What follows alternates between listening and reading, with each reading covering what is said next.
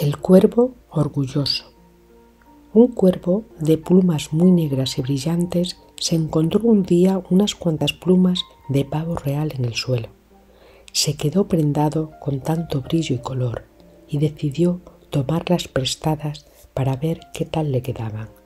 Así el cuervo se fue colocando las plumas de pavo real en la cola.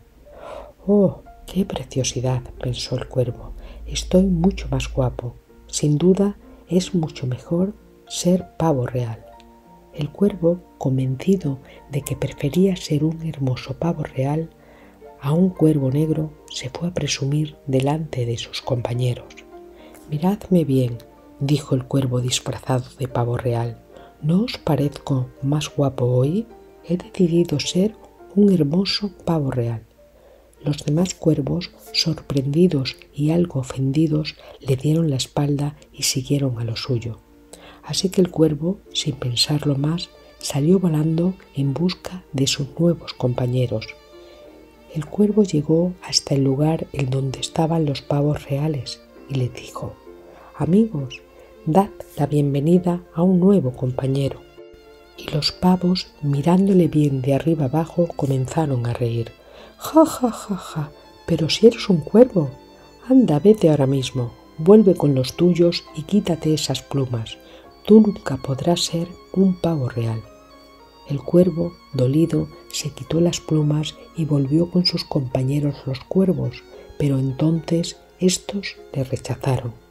No quisiste formar parte de nuestro grupo, así que largo de aquí. Y así fue como el cuervo por querer ser quien no podía ser nunca, se quedó solo y sin amigos. No intentes ser nunca quien no eres, ni presumas orgulloso frente a los demás de algo que no tienes o te quedarás solo. Esta fábula de Sopo nos enseña por qué debemos querernos y aceptarnos como somos, sin artificios ni disfraces, y por qué no es bueno ser orgulloso y vanidoso. Nos transmite estos valores. Valor de la sinceridad, el valor de la humildad y la importancia de fortalecer la autoestima y la confianza en uno mismo. Esta fábula corta, El cuervo orgulloso, nos ayuda a pensar en quiénes somos y en por qué nunca debemos presumir de lo que no somos frente a los demás.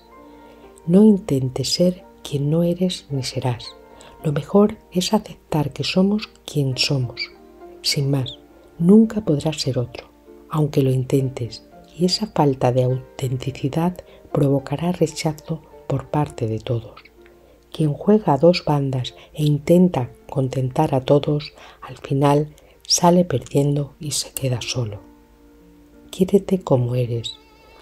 Puedes cambiar algunos aspectos de tu personalidad, por supuesto, Puedes moldear algunos detalles, pero nunca rechazar quién eres, porque entonces nunca conseguirás quererte.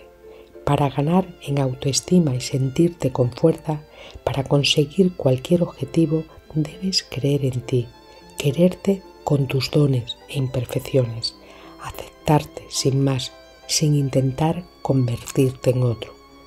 No presumas de lo que careces delante de otros. Si intentas ser de otra forma por envidia, aun sabiendo que no eres así y encima presumes de ello delante de los demás, los otros lo entenderán como una mentira y no creerán en ti. Es mejor ser uno mismo y sincero, sin disfraces ni mentiras. Feliz día.